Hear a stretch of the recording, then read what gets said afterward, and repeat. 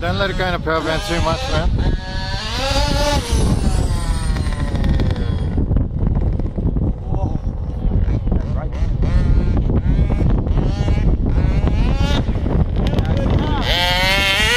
Yeah, you. Wait. Easy, man.